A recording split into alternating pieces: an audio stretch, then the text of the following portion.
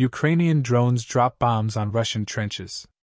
In the presented video frames, drone footage shows Russian troops hiding inside their trench system. Ukrainian quadcopter drones, capable of carrying multiple grenades, fly above the Russian trenches, where the Russian troops are hiding. The drops grenades on the Russian troops' positions, taking them out one by one. This footage was released by the, the 24th Mechanized Brigade of the Ukrainian Ground Force and shows Russian enemy troops being picked off one by one.